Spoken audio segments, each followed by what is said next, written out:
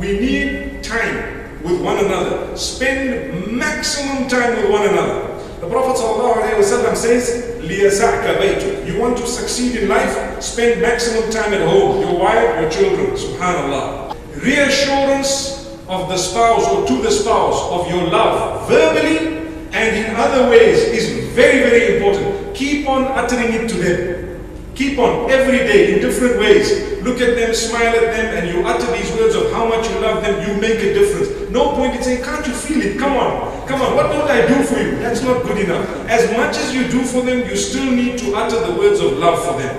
Every time the Almighty says, Be conscious of your Maker. And then He says, utter only that which is upright because 90% of marital problems are connected to the tongue. How you use your tongue. If you don't know how to use your tongue, you know, you will suffer a lot of turbulence.